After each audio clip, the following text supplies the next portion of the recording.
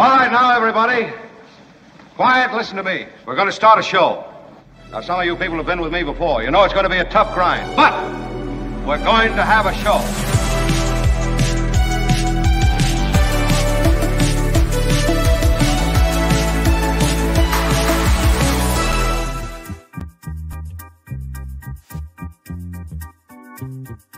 Hey, everybody.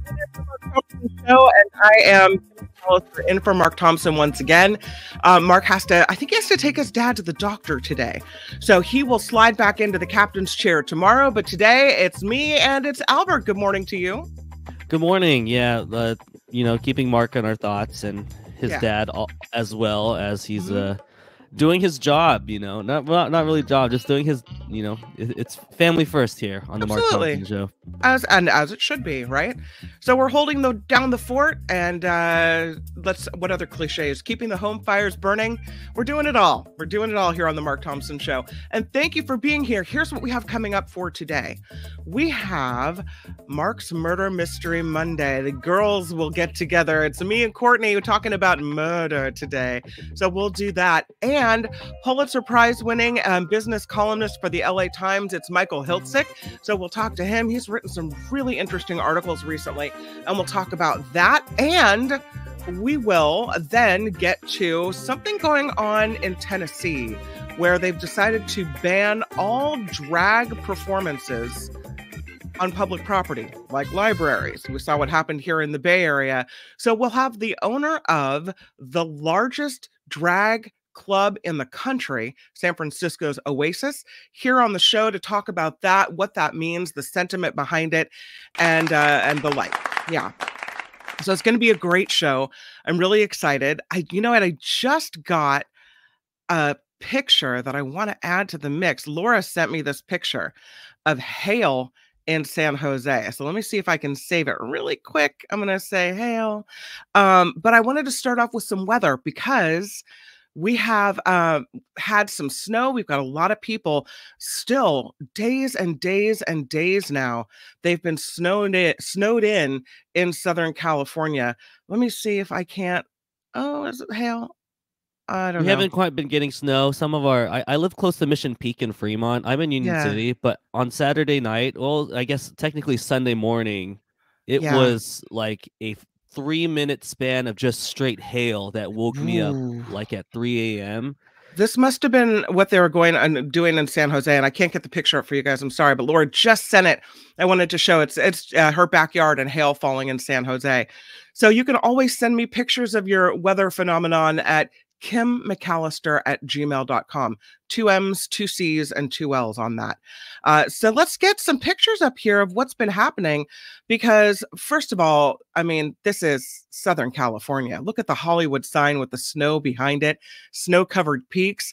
This is just amazing what's happening in Southern California. Uh, and I think it's amazing. There's a lot of people who are just absolutely done, right? Because they've been snowed in for quite a while 10 feet of snow in some areas, and they could be trapped for another week without, you know, fresh food deliveries and things that they need. There are thousands of people since February 28th that have been stranded in the snow in the San Bernardino uh, San Bernardino Mountains. Of course, that's just east of Los Angeles. And this is something where you know that you can't get into this area and it's frustrating for people. There are snow plows everywhere. Uh, the San Bernardino County Sheriff is saying to people, look, we'll have relief to you shortly, but I don't have exact times and I just it can't it's not possible to give you exact times because we're trying to dig you out of the snow. As a matter of fact, Governor Gavin Newsom's got a state of emergency in 13 counties because of all this. In some cases, roofs are collapsing because of the heavy weight of all the snow. I don't know. In California, are the is things built to withstand this much snow? There was a grocery store in this one town. It's a mountain resort town called Crestline, and they were trying to get supplies out to people, but their building collapsed under several feet of snow as well. So it could take up to two weeks to rescue everyone. Kind of a scary situation, you know. I, it's funny because we're so in California. It seems like so uh, most of us don't get snow very often. So when it happens, it's kind of like, ooh, snow day exciting, right? And then you see what happens to people that are just stuck for weeks and weeks and weeks. This is in uh, also Southern California. You can see them trying to dig people out. Pretty horrible. For people here in Northern California, it hasn't been easy either. This is a Truckee area or a Tahoe area. This is a picture of Truckee, a UPS guy trying to deliver a package in Truckee through the snow. Oh man, that's got to be a hard job right now. But that's what it is. And uh, according to SF Gate, it took a really long time to drive from the Homewood Ski Resort back to San Francisco. I think they're saying well over five hours. There have been road closures, and we are get due in for apparently another atmospheric river is on the way in next week. Uh, so the storms are not over. We're still being inundated. And I guess it's a good thing because we've got uh, a dent in the drought finally. But yeah, man. we wanted we wanted rain, we needed rain, and we we got a lot more than we asked for. Careful what you wish for snow. situation. Yeah. I, I mean, really, you know, it's uh it's been okay, kind of enough now, almost, maybe. Do you think we're done? Yeah, yeah we they, wanted it, well, we didn't want that much, but but what what can we do, you know? And and uh fortunately, we've been using that as an excuse to have Mark's yeah. great friend, someone who took his job at Great Good Morning America, Spencer Christian. Right. And we'll be having him on later this week. Excellent. Uh yesterday, this SF Gate article says from what is it? Colfax? Uh Nevada State Line Colfax uh, was closed. Also, Interstate 80 was closed. Hopefully, they're getting things open, but it was more than a five and a half hours drive, they said, from Homewood to San Francisco. Usually, that takes just a little more than three hours. Uh, CHP Truckee saying travel highly discouraged. Roads are extremely treacherous again. So, uh, yeah, I don't know. Uh, and here we are with more storm warnings in a pla- in place and blowing and drifting snow, making for zero visibility. It's something it's something for sure. I'm sure all the snow the snow sports people were really excited to see all the rain and all the snow, but also I'm sure they're also like, "Whoa, this is a little too much. I can't even get to my destination here." Okay, so let's go. Let's leave the snow in the past and go straight to vacation. I don't know if you saw this story, but I'm I'm hoping that uh you will tell me in the chat how much you think uh, this couple should sue for because this is wild. Okay, this couple, they're chemists, they're Stanford graduates, and they get married and they go on this amazing honeymoon to Hawaii. And they go to uh, on a snorkel trip, a snorkel boat. And they go to this place called Club Lanai. I've actually been there. It's a stretch of beach on Lanai. You can only get there by boat. It's got like a massive checkerboard and a little bar and a beach, and that's it. And then they take them further out. It's a snorkel trip. There's like 44 people in the water. And all of a sudden, the couple looks up and the boat's driving away. What? yes, the boat's leaving them in the dust. It's like something from a movie, right? Uh oh, you're in open ocean. The boat just drove away. There you are, bobbing up and down in the water. Like oh, I'll tell you. They try, they're in shape, they're young, they try to swim after the boat, but the boat's gone. It's that's it. So it turns out someone, another uh, snorkeler, got aboard the boat and told the people, "Hey, there's still a couple back out there. Don't leave yet." And the That's guy checking fake. everybody in That's real. said, "Hey, everybody's accounted for. Off we go to the next dive site." And they left these people behind. In the end, they managed to swim back to Club Lanai. It was frightening. Uh, they didn't know if they were going to make it. They did. They're okay. That was two years ago. You know, they and do this to me all the time. I don't know what the hell they do it for. now they're filing suit. How much do you think they're suing for, Albert? I don't know, but that was a simple head count thing. You know, I worked at summer camps growing up, and uh, all you got to do is count the people before you get that boat out, and you would have saved, I'm sure, a lot of money. And you're asking how much yeah. did, did they sue for? Uh huh. How much is that worth? That panic when like you're there in the ocean. You know, you're thinking of that movie where the sharks come eat you. Sharks, and you got to swim back. I can't even swim, Kim. This sounds like a very terrible time to me already. Choppy water, waves up to eight feet high. And there they are, sitting there in the ocean with nothing but snorkels on their face and swimsuits. oh my gosh. Uh, well, we're getting some. We, we got some guesses in the millions right here. Fifteen. I'll go like a solid, uh, like five million dollars. okay. dollars. And th- and you would be right. And it's funny. That's what Mark said too. Five million. That's what they're suing for. I think this is a twenty million dollar case because if I'm I'm not a I've never sued anyone in my life, but I'll tell you, if I'm left in the dust, that is crazy. That is so scary. Yeah, it's uh it, it's they're suing for five mil. Five million dollars. Absolutely. Well, five well, million. Five million in damages, and they're looking for a jury trial to get that money. So uh, the lawsuit says the Coast Guard investigation into this incident found the vessel master negligently performed duties with regard to operating the vessel. He did not uphold the company's safety procedures. I guess that has to do with the uh, headcount. And uh, yeah, five million. That's what they want. I think they should get more. I just I think I they should because those were their lives on on the line, and if they weren't capable of swimming that distance, then who would have mm-hmm. known what they would have just disappeared and no money and no that's their life just because this guy just left them back. Yeah, and then the crazy part about that is the guy was told that they were still out there, and and even then they're like, yeah, yeah, yeah, everybody's here, it's fine, go on. I don't know. Uh, so stick close to the boat if you're going on a snorkeling trip. Because the the uh, moral of that story. You know, this is really sad news that I found out over the weekend. Actually, it's kind of news that's a long time coming. Did you hear that the Conways are getting divorced? Kellyanne well, and George Conway. Kellyanne and George Conway. I did see that, and yeah, you know they've been uh, they've been in the media in the forefront for a while. So, mm-hmm. um... so they have four kids. Sadly, uh, not sadly that they have kids, but sadly the kids will have to go through the divorce. and uh, it's it's one of those things where you think to yourself, if they're so politically misaligned, he was, I guess, a, uh, a Republican, but not Trumpy and she, of course, Trumpy.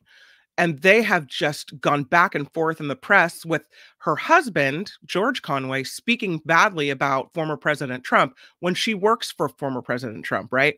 So it's been kind of one of those things where you think, how long is this marriage going to last? It lasted a lot longer than I thought it would, to be honest. And of course. But that doesn't mean that it's a good thing. Uh, here's her quote I already said publicly what I'd said privately to George that his daily deluge of insults by tweet against my boss, or as he put it, as he put it sometimes, the people in the White House, violated our marriage vows to love, honor, and cherish each other. It seemed the flood of reaction and attention he was receiving was magnetic and irresistible. So that I mean, it's kind of relatable. I'm sure yeah. with any spouse, you, you don't they don't always have to be the best fans of your coworkers, but playing it out in the media and in front of millions of people, it's it's a little different to set put your set your your set up yeah put your differences aside. So yeah, yeah, uh, that's a pretty public disagreement. Of course, uh, the former president Trump had to get involved in the whole uh, divorce announcement. He said, Congratulations to Kellyanne Conway on her divorce from her wacko husband, Mr. Kellyanne Conway. Free at last, she's finally gotten rid of the disgusting albatross around her neck. There's never she's been anything person. like this. She'll now be free to lead the kind of life she deserves, and it'll be a great life without the extremely unattractive loser by her side. Okay. He has nice. a way with words, Kim. That was, really that, was that was truly beautiful. I mean, you know, maybe this isn't doesn't really involve you, former President Trump. Maybe you should, uh, and that really uh, kind of prompted a response from George Conway. He said, "Hey, looking forward to seeing you in New York at E. Jean's trial next month. Hugs and kisses." That's the uh, the rape defamation trial the former president is uh, is dealing with in the New York area. So yeah. So a lot of back and forth with the the Conways on the divorce and uh you know I just feel bad for their kids. Of course, remember their daughter came out publicly and there was all kinds of trouble not came out came out but uh emerged from the shadows uh trying to get away from her parents. It's what a mess. I'm yeah, she was you. having some troubles in in school or just in like on a day-to-day basis. Yeah, yeah, it's messy. Uh, did you see the story about the BART ride? It's an SF Gate. There's a Bay Area software engineer who was charged $545 for a single BART ride. Oops. Yeah. So uh, this is the morning commute for Malik. What? Gudaguntla. he went from Oakland to South Fremont. Uh, not that, you know, short. whatever. It's kind of normal commute. But for some reason, his digital clipper card wasn't working. He held his phone up to several different turnstiles, apparently, at two different parts of the, the BART station, uh, and couldn't get in. He goes to a BART attendant. They eventually let him through. But apparently, looking back at the Google wallet, he saw all these transactions. So maybe it was registering every single time. And it looks like, yeah, $545 to yeah, ride he was from charged he was charged 101 times which is kind of ridiculous because yeah. I, I used to take bart every day going to station x. Right. And you know there are just straight up people who walk through. You know they just walk through the turnstiles don't pay anything. There's this a kind man who's just paying with his clipper card. He's finally he's like hey i don't know what's going on. He shows his clipper card and they charge him this many times. It kind of gets you thinking he should just he should have just not said anything or just walked straight in. Well obviously he got charged so he needed to talk about it but you Don't know it's get... sad that the people who are actually paying are going through this when there are people who yeah. are just jumping right th- right past the, the turnstiles don't people get caught when they do that kind of stuff you you think they did, but I, I saw it pretty pretty frequently, and they just uh, brazenly walk in all the time. Wow, I mean that's that's a lot. That's a. a I thought there were like BART police that would catch you if you did that. I would be afraid to do that. Like I'd be embarrassed to get caught. Yeah, it's uh it's bad because they're like, oh, what do you do for a living? Oh, yeah, I work for a. I'm sure you could afford to just pay for your BART rides, sir. But um, you know, people. Uh... Yeah, I don't know, but I'm not paying 545 from uh, Oakland to Fremont. That's for sure. I don't know. Definitely not. South Fremont Station is very nice though, but not worth the five hundred forty-five dollar uh, receipt that he got. He said that he had a CVS worthy digital receipt, which is uh, you can only imagine how long that receipt looked like. That's a, a very long, very uh, sad little receipt, and I wonder if you have to fight them or if it's easy to get your refund. I don't know. That's quite a commute. And, and there's uh, always something weird about Bart. You know, there was that janitor who used to just work overtime. Like I think it was in the Union Square station. He would just yeah. hide in the closet, and he like collected over five hundred thousand or some absurd amount of money just working overtime. So, Bart, you need to clean up a little bit. Yeah. Well, speaking of uh, money, let's uh, bring in Steve Moskowitz because he's going to help you uh, straighten out any money issues you have with uh, regards to taxes. Good morning, Steve Moskowitz. Good morning, Kim. How are you? And we're I'm happy to help you with any of your tax issues. Okay, the first tax issue that I think a lot of us have is this information that because of wildfires and storms and you know flooding and what have you, that this is it the state of California and the federal government has no, pushed just, back the filing deadline to October. Can you tell me?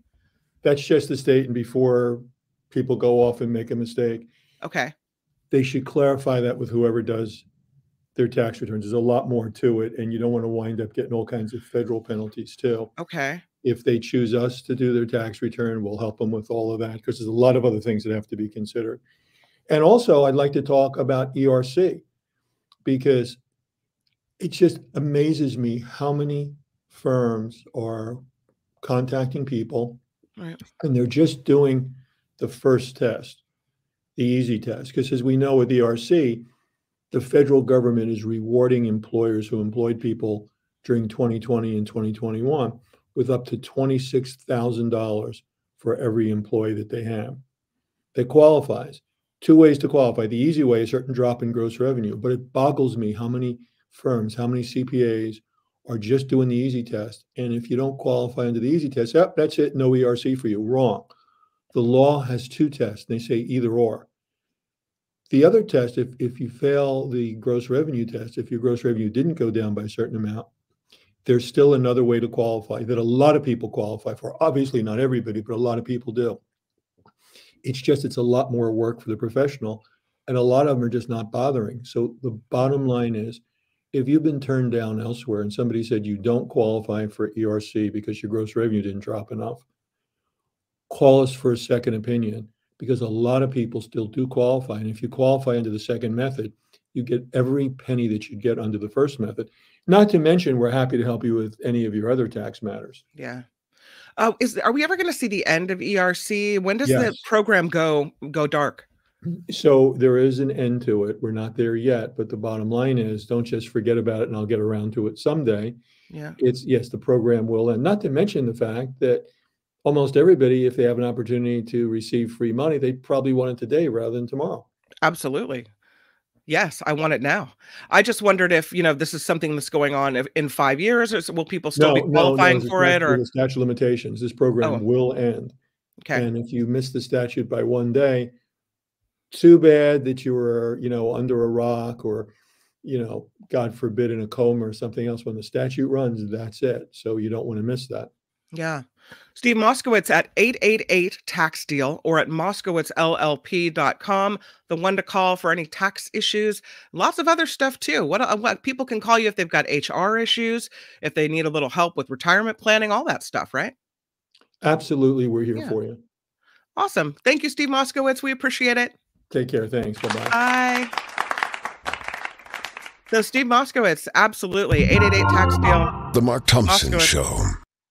llp.com all at the bottom there.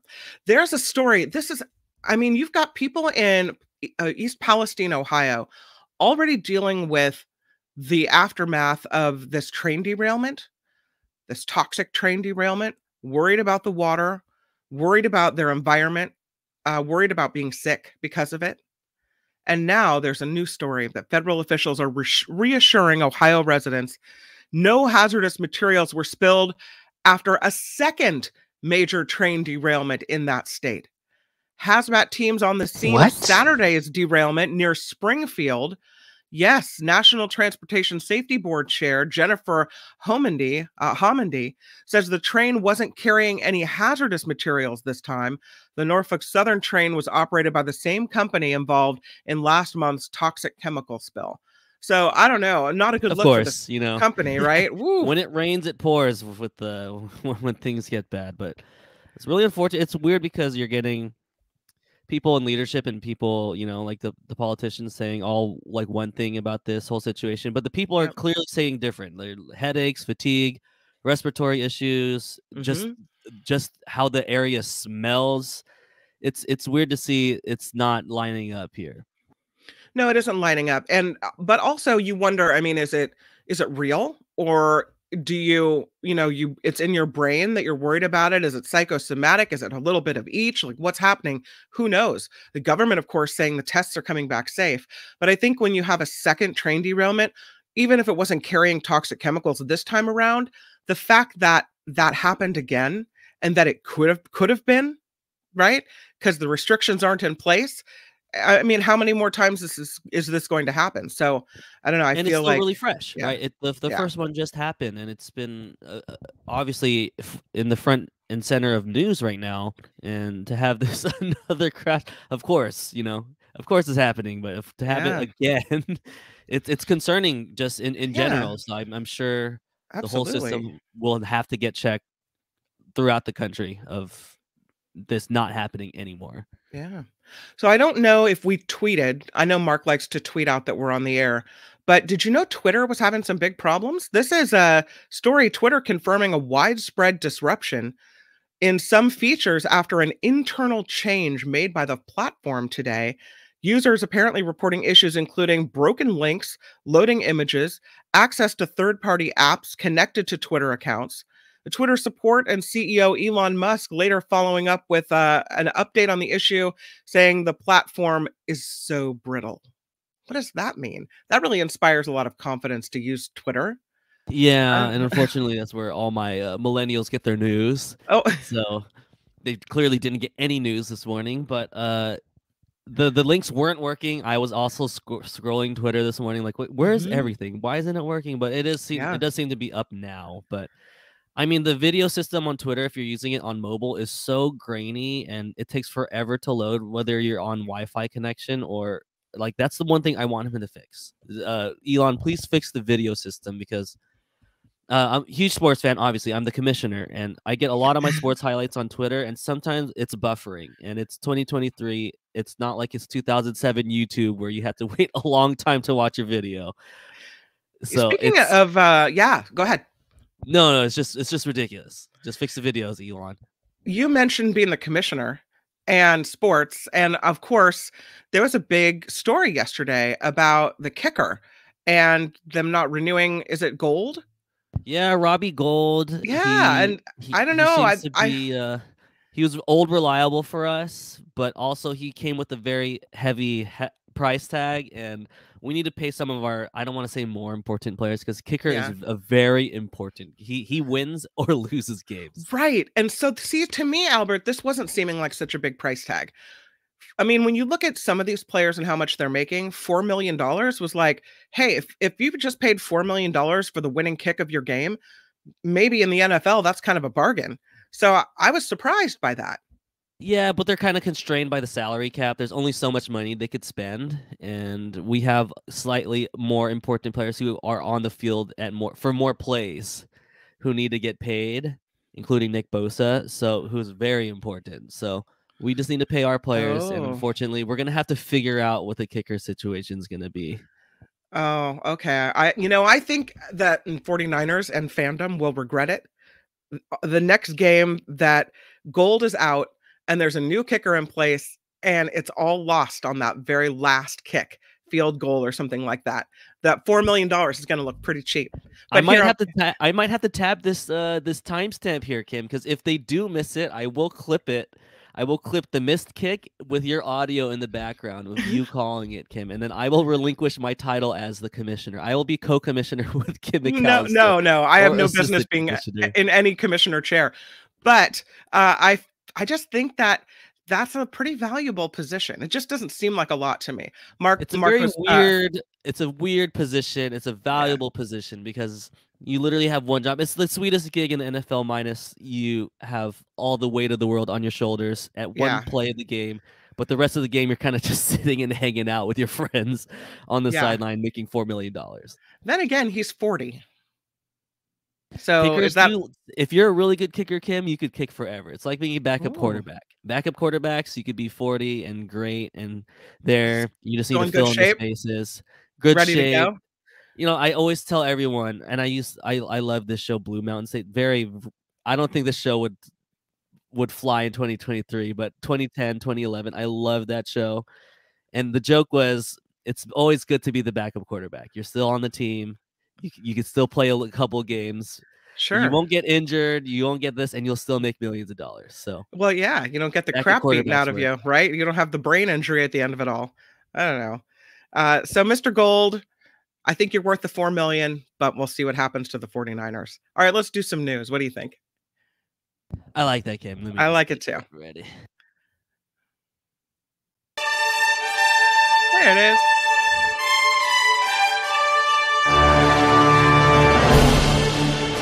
And this is the Mark Thompson Show. I'm Kim McAllister. This report sponsored by tax attorney Steve Moskowitz at 888 Tax Deal.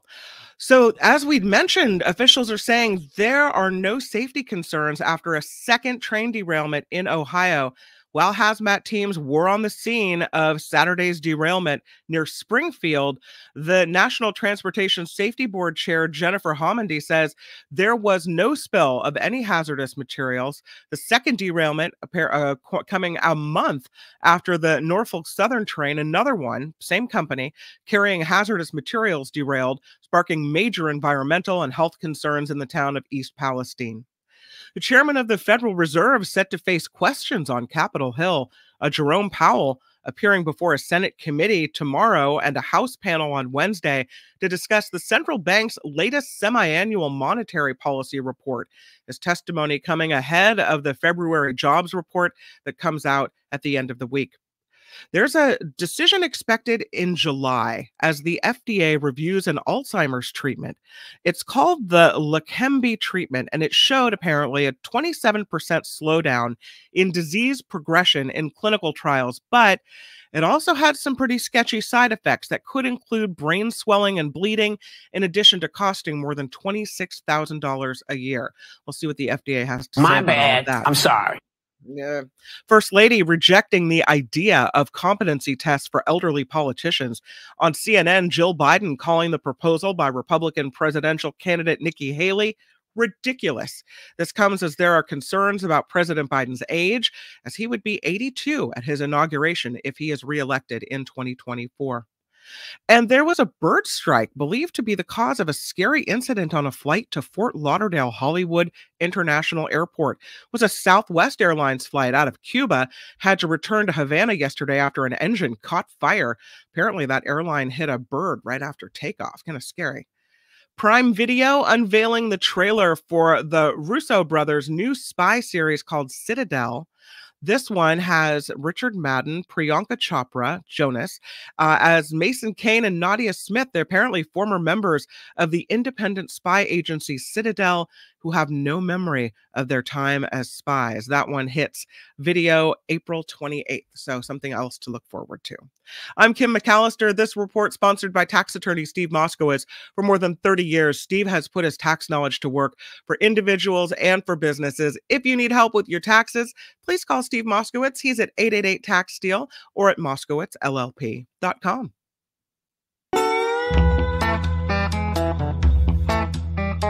The Mark Thompson Show.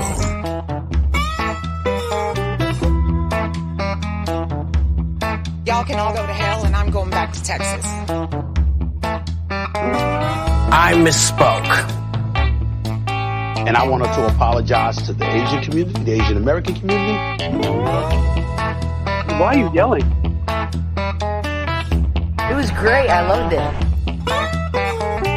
How would you handle this? We could try ignoring it, sir. They pay me a lot of money for having attitude. There's never been anything like this. We've never seen anything like it before. Nobody has ever put something like this together that I've ever seen. Have you ever seen anything like this? There is nothing in our history that quite compares to this. I think I'm the most honest human being, perhaps that God ever created. God bless America. The end. Someone did this to spoil our Christmas. Oh my god, oh my god, oh my god. Sayonara, sucker! You know what, pal? You created havoc and chaos. I don't think you should apologize for how you feel.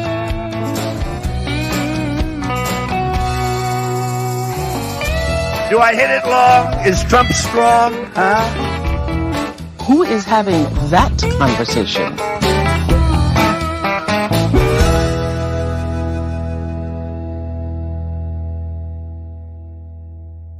It is the Mark Thompson Show, and thank you for being here on this Monday. And you know what that means. It is Mark's Murder Mystery Monday. I do want to uh, ask you before we jump over to Courtney, who is so kind to join us today, to please click the like button. I forgot to ask you at the beginning. Just click it, click it, click with click, your click iron it. rod. Oh, smash it with your iron rod, and we will take your like and be very grateful for it. So thank you for that. Right now, let's bring on the beautiful and mysterious. Welcome to Mark's Red Rum Murder Red Rum Mystery Red Rum Monday. She is Mark Thompson's better half. She is amazing. She is Courtney. Hi, Courtney. Hi. Thank you How for are- having me. That was the kindest introduction I've had on the show yet. You are beautiful yet mysterious. Mhm, With your hat and your glasses all shady like. You know, it's so funny actually. My sister, my sister was on YouTube and she got served the Mark Mark's murder mystery segment, and she said that picture looks like my sister. Like she didn't realize that I was hosting it. Kind of looks like you. Yeah, she said that looks like my sister. So, uh, uh, you know, a What? testament to the artist, yeah, who created it. But Oh, that's awesome. so you have a story today that I am fascinated by, and I'm uh, I can't wait to hear you tell it.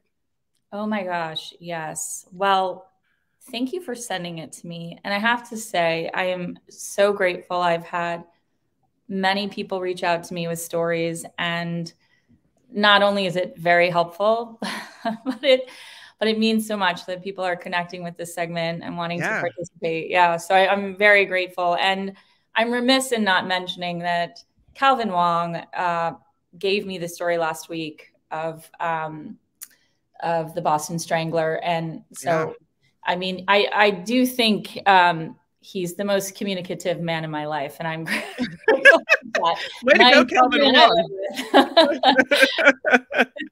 that.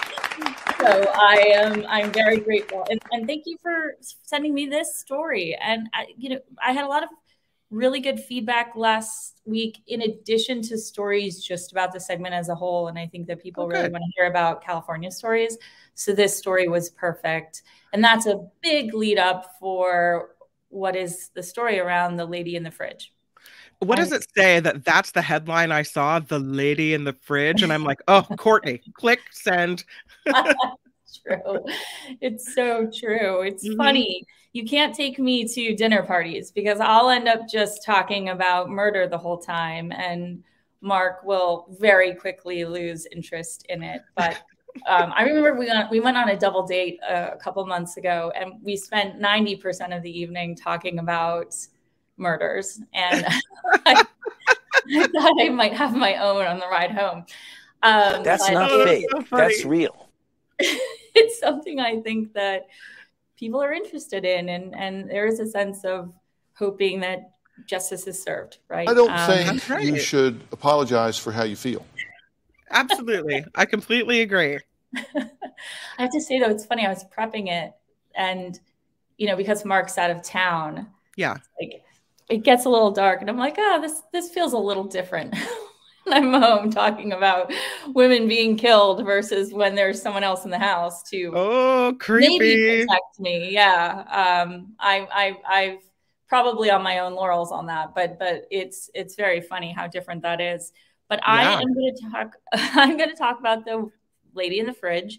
Um, kim was so nice to send me the story but i do want to mention um, there was an incredible podcast called True Crime in Depth with Chip Mahoney, and he did a fascinating and really great job on this story. And I listened to it several times throughout the day yesterday, and so I I, I want to attribute a lot of the information I got from him and also the LA Times. Mm-hmm. Um, so on March 29th, 1995, the body of a young woman was found inside a refrigerator, partially submerged in an irrigation canal in the San Joaquin County community of Holt. Um, and so for three decades, this woman went as the lady in the fridge because she was unidentified and the case eventually went cold. Can you first, can you imagine what a way to go? Like, what, how awful would that be to have to be bound and thrown in a fridge? And I can only hope she was dead before she went in there. I know. I, it's it's so true. It, it is. It's so scary. And if you go down, Albert, if you don't mind, I can show you. I started out with who she was, but if you can go down, I can show you the. So this is the canals and the areas that she was found. Mm-hmm. Actually, some of the listeners are probably more familiar with uh, San Joaquin Valley and Holt, California. Right. Um, and this gentleman here in the red hat, if you go down one more slide, I tried to find his name. I couldn't. Uh, maybe he did not want to be named, but he actually found her. So he found the refrigerator and he was effectively, this is strange, looking for cans, found a refrigerator, hooked that to his car and pulled it out of a ravine. Which, if you go down one, um, I'm if I'm looking at this refrigerator, I know there's only a body in it. There's nothing else that's going to be. Your mind goes straight to body, yeah. not like, you know, just abandoned, dumped fridge, empty. Courtney's like, nothing, no, body. There is nothing good that is in this refrigerator. I don't and, think you should apologize for how you feel. Yeah, there's nothing. But he takes the refrigerator, connects it to his truck, and he pulls it out of a ravine. And if you go down one, you'll see the interior of the refrigerator. And yes, unfortunately, she was in the interior of this refrigerator. Now, the refrigerator was found on March 29th in 1995, but they think that she was in there for a little while because the water had almost entombed the body. So unfortunately, there was a lot of degradation. So it was very hard to um, get any sort of um, resemblance of what she would have looked like. Um, so she remained for 27 years or 29 years as unidentified.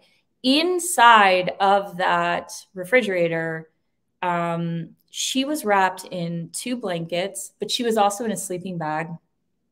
And she was very well dressed. Um, she had on um, expensive hiking boots, blue uh, striped socks. She had on a sweatshirt and t-shirt, shorts. She was wearing her diamond wedding wedding ring, even though she was separated from her husband. And she was also wearing. I, I have one more slide. If you go down, uh, she was wearing costume jewelry. So this is one of the pieces of costume jewelry that she was wearing that they had um, shown to the public to try to identify her. Um, she had, interestingly enough, she had reddish blonde hair or red hair um, actually when they found her.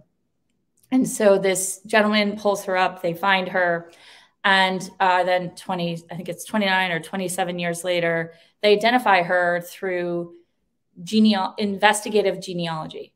So through these sites where you test your genealogy, they were able to match her to a family member and then speak to that family member. And that family member was able to identify her as, if you could go up, Amanda Lynn Schumann Deza. So if you, uh, yeah, if you don't mind going up a little bit, Albert, for everyone that's listening, um, she's this beautiful young blonde mom. She was a mom of three. She was married, but she had separated from her husband. And the last time anybody had seen Amanda was at an apartment complex in Napa, where she was with someone that she had been in uh, a rehabilitation facility with. So I think there was a sense that she had fallen on hard times. Had some drug uh, issues or substance abuse problems. Exactly. Yeah. Yeah. I think they said that without expressly saying that. But yeah. um and she was known as a free spirit.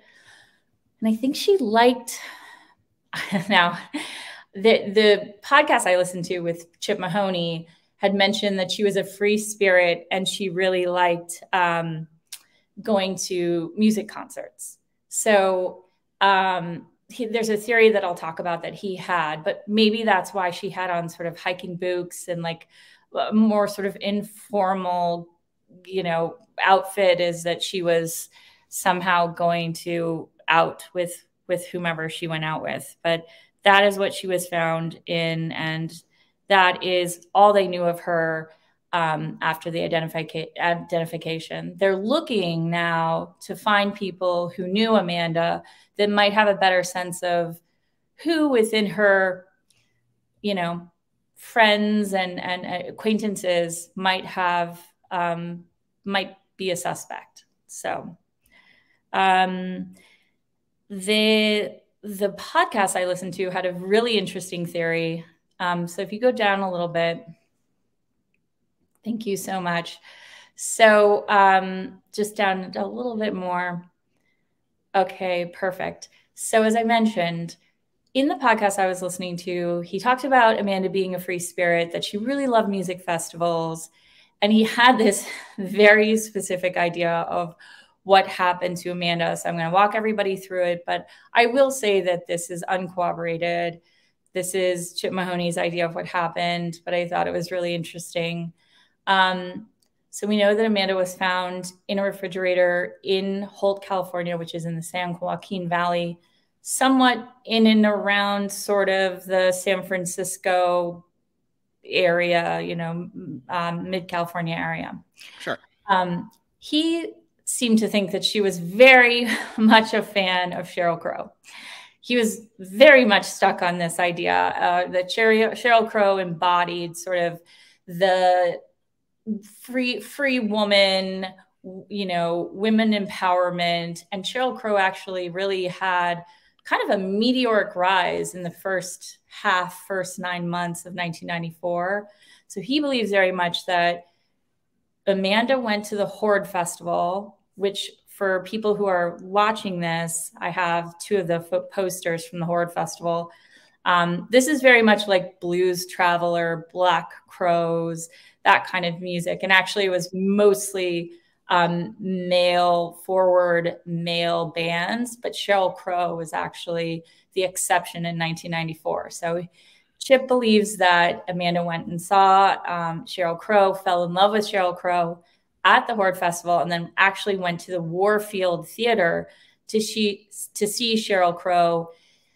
I think it was like October of no or November of 1994. The Warfield in the, in San Francisco. Yes, exactly. Okay. And then we're not sure exactly when she went missing because there was never a missing persons report filed. Her family was looking for her, but there was never one filed.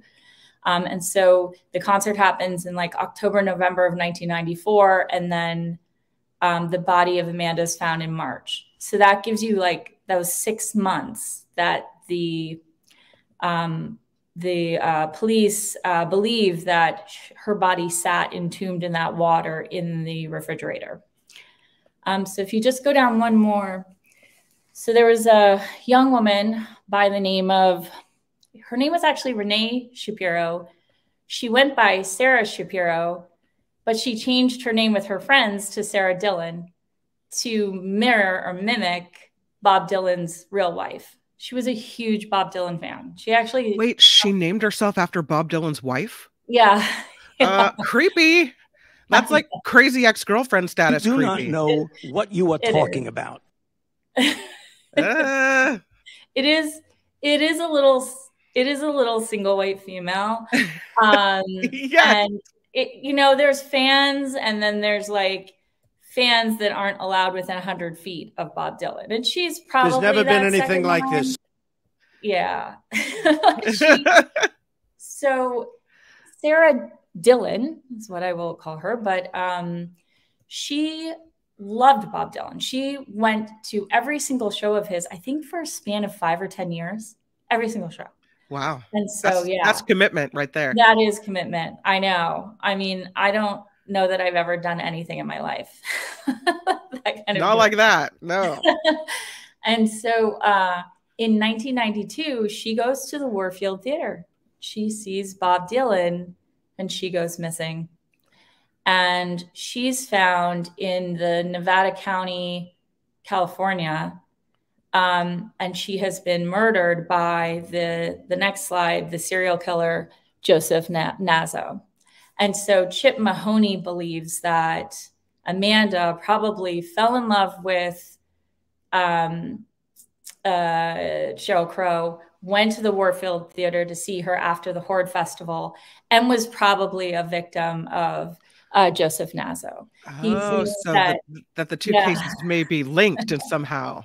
Yes, that she's maybe one of the four women that were never identified, but he kept very specific records of all of the women that he had interactions with. Joseph Naso did, the serial killer and serial rapist. As one does, uh, a serial record keeping yeah. serial killer, you I know. Mean, most people diary about other things that are slightly more uplifting, but this horrible person kept copious notes about the terrible things that he was doing. Uh. Um, I've given a very small example so you can see his crazy person handwriting on, on the right hand side, but um, I've, I've left out some of the more, um, uh, you know, distasteful notes.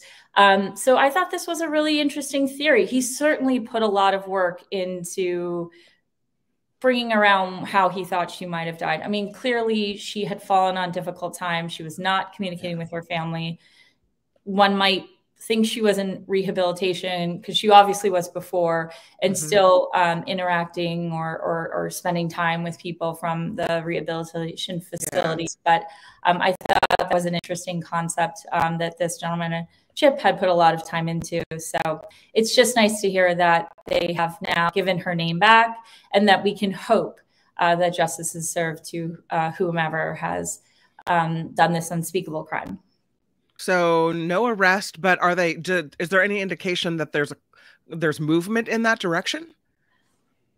Not that I know of. I listened mm. to the press. Um, I listened to the press announcement uh, last week, and um, the police and investigative officers were mostly giving information about Amanda and asking for the help of the public. Um, but it, let's, yeah, we, we can hope that with her name, um, people might have more information as to who she was spending time with or what she was spending time doing. And maybe I, Chip Mahoney's idea isn't, isn't so uh, crazy. well, I don't know if he kept copious records and he, you know, yeah. she wasn't really covered in the, you know, I put her in the fridge page. Yeah. you know, I, I, it's interesting you talk about how she was a free spirit never officially reported missing, even though her family was looking for her. And mm-hmm. that's kind of scary because when you have a person like that who, you know, takes off and does their own thing and is kind of flitting around back and forth, and something bad happens, that's the problem with that is if you know you don't have a check-in, you don't have someone that you know is eh, is waiting for you or that you're due home, then she's never the police are never really into it until way late. Yeah, no, you're so right. You're you're so right.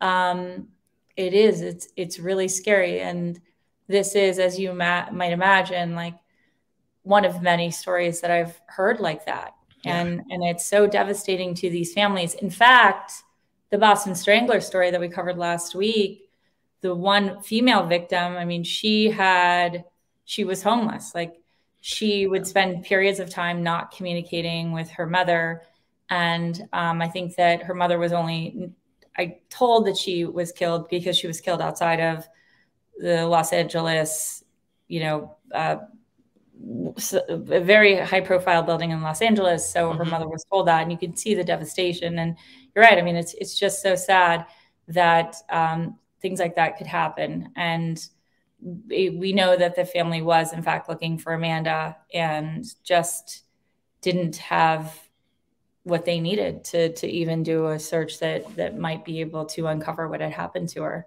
Um, so scary and so interesting how these killers are able to pinpoint people who they think don't matter, no one will be looking for. Yeah.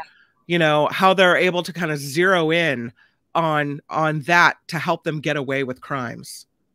It's so true. It's so true. It's creepy. It's what keeps me up at night because I know I'm, I'm victim number one. The next. no, you're not. No, is that what it is with you though? Is that like the fear of being a victim, or is it just like the what draws you to it is the the psychology behind the killer? Or yeah, both? it's it's a good question. I I in many ways it's it's the psychological profile of the killer. It's also putting all of the pieces together and mm-hmm. understanding mm-hmm. trying to understand the makeup of the story and then um almost that discovery of who did it um and so but it's funny i mean there's definitely a lot of t-shirts out there you could that you can buy that said the husband did it or the wife did it that's most of the time it's why mark sleeps with one eye open i tell you oh, um, no. which one do you use mark thompson someone in the house it's someone in the family so um but yeah i think that's why it's mm-hmm. definitely mm-hmm. um I'm I'm I'm fascinated with these stories, and I I'm also someone that very much wants the right thing to happen, and that right. has been a really good thing for me, and and not a really good thing for me because unfortunately, a lot of times the right thing doesn't happen. Yeah. so, yeah. or it can take way too long, and then you get to the to a point where you see these people who've done these awful, unspeakable things. Mm-hmm. And they've for decades gotten away with it. And by the time they're arrested, they're in their late 60s, early 70s. And it's like, okay, now you're going to pay the price at the very end of your life. But look at yes. all the years that you had scot free you know and yes. and penalty free after you did this horrible thing to this person and it doesn't seem fair i know no you're right it doesn't it it, mm. it really doesn't and it doesn't doesn't feel like justice has been served. And then you can't ever really get it to where it might feel like that person will have to suffer even even in a, a, a, small way as to the unfortunate suffering of the family and the loved ones yeah. um, of these victims and the impact those victims would have had on the lives of so many which might include their friends and family and kids and it's yeah it's just horrible. No i mean i i the, the, for all those reasons i yeah. And and i i just yeah I, I think it's interesting putting together the pieces and and trying to figure out who who's who's done it. Um, I remember being a, a kid in grade school and asking a policeman who was I don't can't remember what he was doing, but I remember raising my hand and asking him how many serial killers were active in where I lived at the time, San Diego. And I remember him looking at me like, that's probably not a question. As seven or eight year old. even then, Courtney, even yeah. then. Even then, I was trying to fight crime. Um, but oh, that's so yeah, funny. So I don't think you should apologize for how you feel.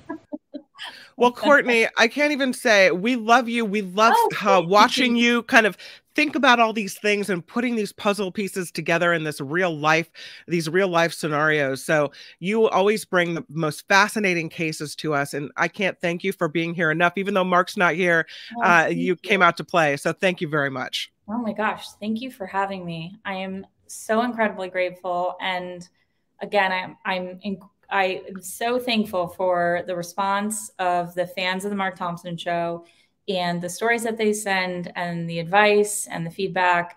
So please know I try to get back to everybody, but I'm I'm incredibly grateful. So um, next week I will bring another story that someone has sent to me. Ooh, cool.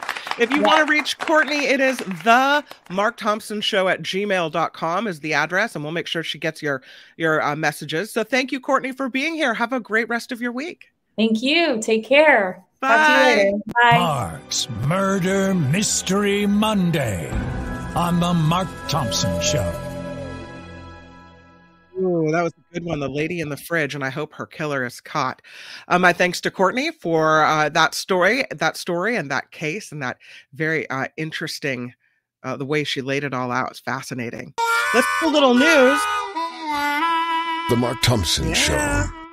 Let's get a little news, and then we will talk to Michael Hiltzik about some of the really interesting things that he is focusing on as of late. But first, the news.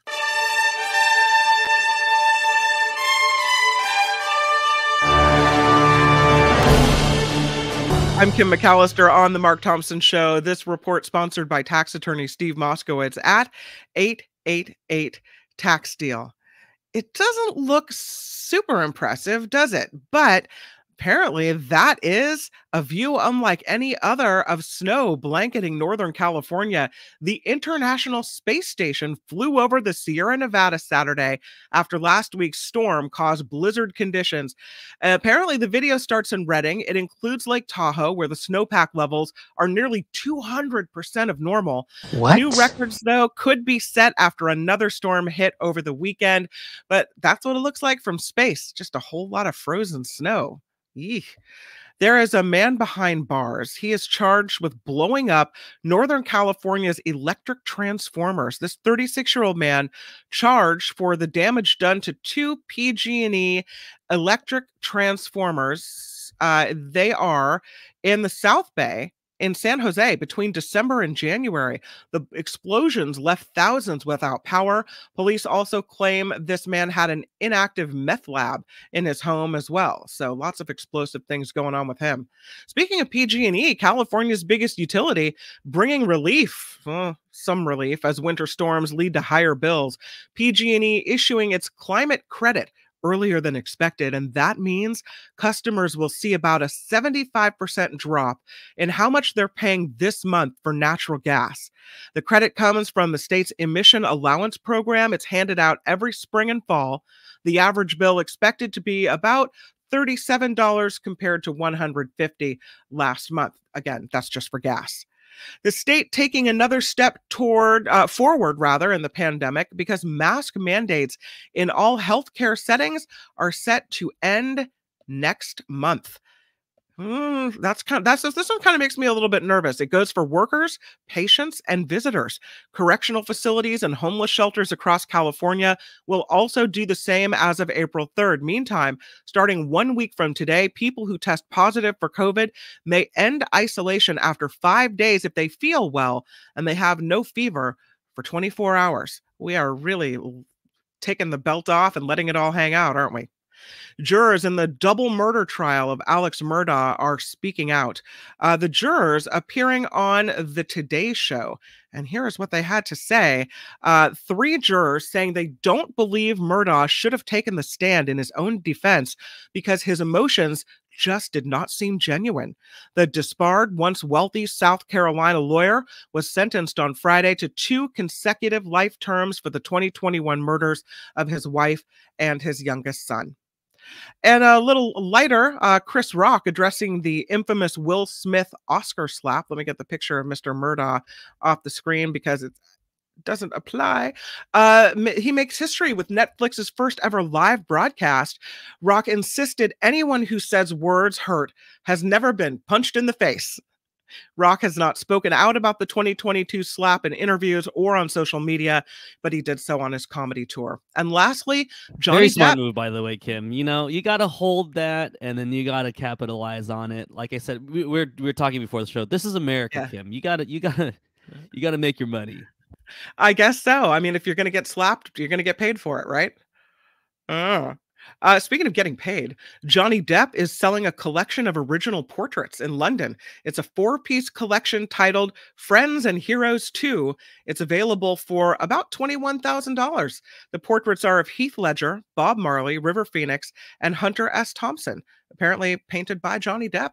This report sponsored by tax attorney Steve Moskowitz for more than 30 years. Steve has put his tax knowledge to work for individuals and for businesses. So if you're looking for help with your taxes, Steve Moskowitz is the one. It is 888 tax deal or moskowitzllp.com. I'm Kim McAllister on the Mark Thompson Show.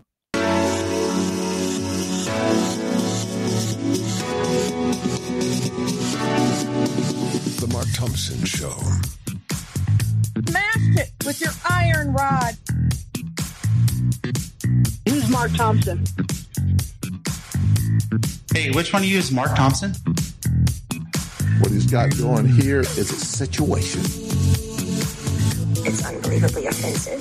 Put up your pants, my man. Pull up those pants. Ralph Nader just sent me a book. Did he send you one too? I offer this sincere apology to you today.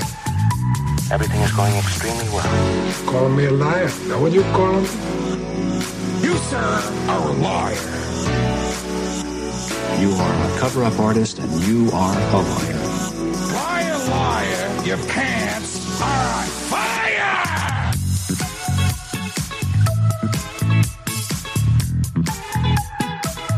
A Google told me. Can you let him finish, sir? It was wrong, it was stupid, and I'm trying to be a better person. No, no, no. I'm going to tell you what I think. What are the porn stars doing? Do you have a secret now? Doesn't anybody better weed? 100% effective. How about that? Say what? And this is their new host. There is no defense for my conduct.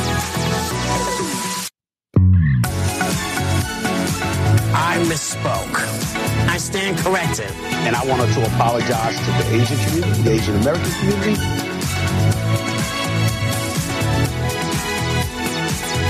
Time's up, mother effers.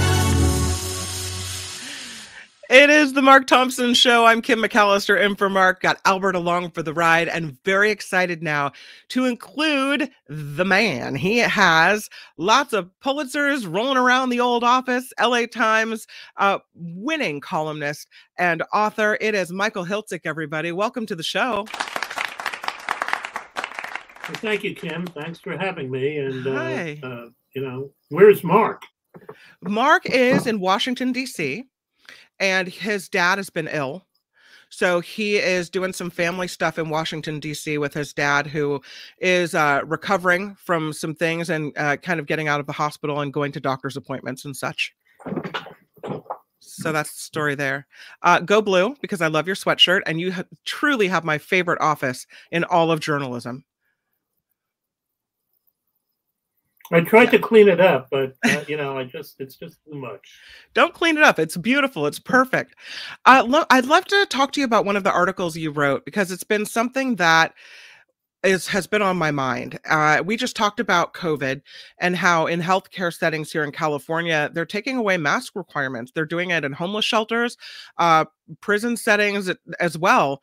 And we've been talking a lot about this whole low confidence from the energy department that uh, COVID originated from a lab in Wuhan. And so I wonder if you can kind of talk a little bit about your article and uh, whether we think this low confidence bears any fruit or why they would release such a thing. Sure. Well, as you may know, I've been covering this issue uh, that is the origin of COVID for really two years, maybe three years at this point. Um, and uh, there have been two sort of competing theories. One is the theory that's followed by virtually every expert in the field that's virologists and epidemiologists. And these are the people who know and have paid attention and done the research. And their conclusion, almost, overwhelmingly, almost unanimously, is that COVID reached the human population via wildlife. Uh, we don't know exactly what animal or animals uh, uh, allowed the virus to make the jump, but that's the way that uh, pathogens typically reach humans. Uh, they come from animals. This is called the zoonosis uh, hypothesis. And okay. as I said, it's accepted by really the, the entire scientific community. On the other side is this hypothesis that it leaked the virus leaked from a lab, specifically a Chinese virology lab in Wuhan. There is no evidence. And when I say no evidence, I want to stress the no. There's not a speck, a smidgen, an iota of evidence to support that hypothesis.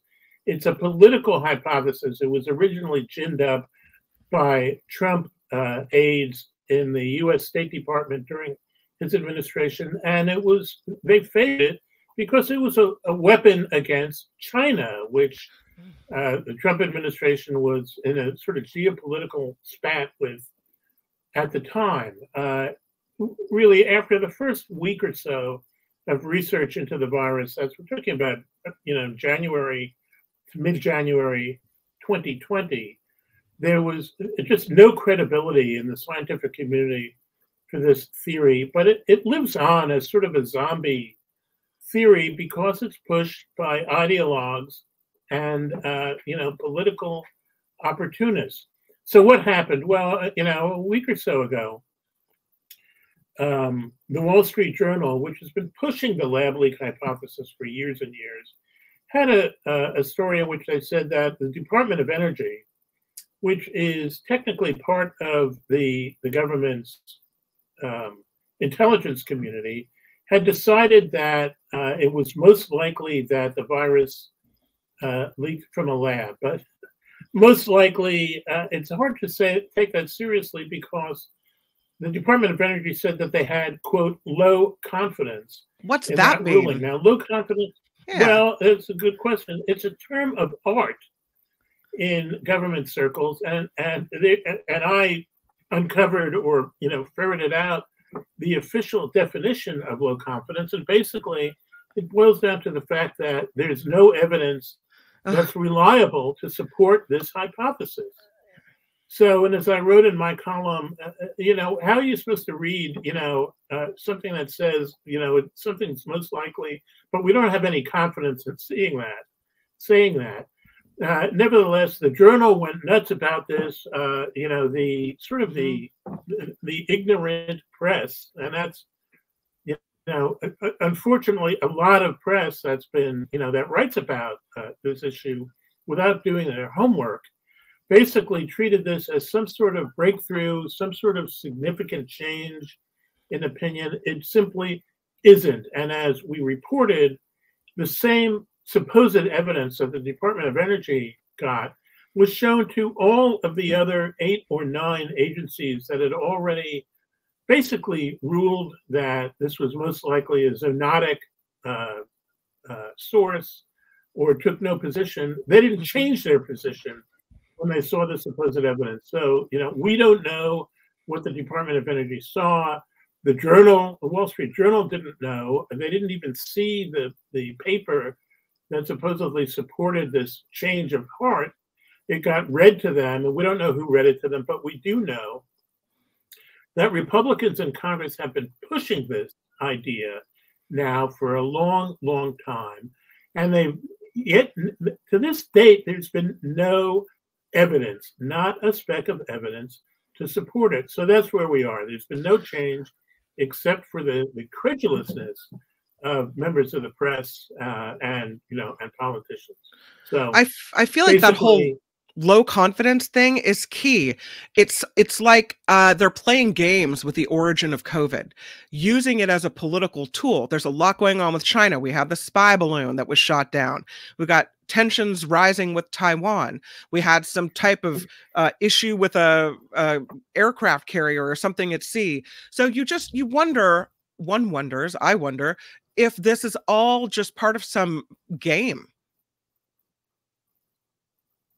Well, it is a game, and it's a game that the Republicans are playing, and that Democrats, to their credit, have not been playing. But you know, it's not. It, it, this is not of trivial importance. I mean, you know, yeah. the, the origin of COVID doesn't tell us much about how to deal with it now, today. Yeah. You know, how to treat it, what uh, you know, social uh, rules and regulations should be.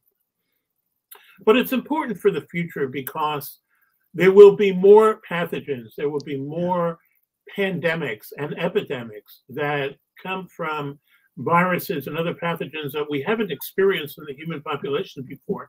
Knowing what the possible source is is important because that tells us how to try to, to combat these uh, these infections before they actually arrive. And if we are focused yeah on you know all this nonsense about gee the Chinese are hiding something and you know they're they're doing all sorts of lab work that's dangerous and uh, and they're hiding uh, that's going to distract us from what's really necessary which is regulating the contacts between humans and wildlife out in the wild that's what's really important and that's what will save uh, public health in the future. So, you know, not only, you know, sort of a funny distraction, but it's a dangerous distraction. It is a dangerous distraction, and it frustrates and angers me when information is used as a weapon like that. When you create, when you take something and you just described why it's important, but you take a, a key piece of information the world has been waiting to hear about. The world wants to know what why we just spent the last couple of years locked inside trying to avoid COVID and then you take it and use it as a weapon against another country or you know as misinformation and so then it creates these conspiracy theories and people you know trying to find all this information that bogus information spreading around and so when you when the real information is finally conclusive no one's going to believe it. Well, that's true, and and you know you're right about something, which is that this uh, lab leak thing is a conspiracy theory, uh, a pure conspiracy theory, because you couldn't have a lab leak out of a Chinese lab that is secret without there being a massive conspiracy, conspiracy by lab uh, technicians and, and laboratory officials, the Chinese government, and the rest of the scientific community would all have to conspire together to hide the truth. And, and there's just nobody really believes that a conspiracy on that scale is, is really plausible in the least. So let's go to uh, another article that you wrote, and this is some a story that popped out last week. We had two of them, uh, all from the the conference going on in Florida, right? Where it seems like Nikki Haley was talking about being, you know, woke as being part of the liberal left, and uh, then DeSantis was talking about being woke. Is I feel like woke is going to be the word we're hearing for the 2024 presidential election, and we won't be able to get away from it. Well, I think if we if we do hear this word, uh, you know, people are. I, I, think people are already sick of it. It's a yeah. it's another meaningless trope, like um, you, you, know ESG for environmental, social, and governance concerns. Uh, uh, you know, among investors, and uh, you know, critical race theory. I, I mean, you know, these are terms that are thrown around to the to the point that they they have lost all meaning except that you know for certain communities, you know, for you know the Republican base, particularly, they have this sort of um, you know totemic meaning that if you if you say you know critical race theory, then you know uh, uh, you know Republicans sphincters contract. You know, not to be you know, not to be too too indelicate, you know, and uh, you know Republican politicians use this. They you know they use these as code words and, and shibboleths, and they don't give a damn that they've lost all meaning because they don't want them to have any meaning. Because if people understand what they mean, they, you know, people would say, well, gee, you know, uh, ESG investing, that's pretty smart. And uh, critical race theory, you know, doesn't really exist in, in the teachings in K to 12. And woke, you know, you know, what does woke mean? It means, you know, paying attention to the concerns of your neighbors and your fellow Americans, uh, and you know, making a, a, you know, taking steps not to be unnecessarily or casually yeah. offensive to them. Right. What's wrong with that? What's wrong with trying to understand the plight of others? As far as I know, nothing's wrong with it. But you know, I'm not Ron DeSantis kind of her. So apparently it's bad to be woke. They don't know what woke is. And now it seems like the buzzword for the upcoming presidential election. If you're woke, you're bad. Uh, Democrats are woke. And so down with the woke culture. Right. Well, you know, we need Democrats to sort of step up to the plate and and uh, basically, you know, defuse this. I, you know, I always thought that um, you know, I think back to the debate between George H.W. Bush and Michael Dukakis.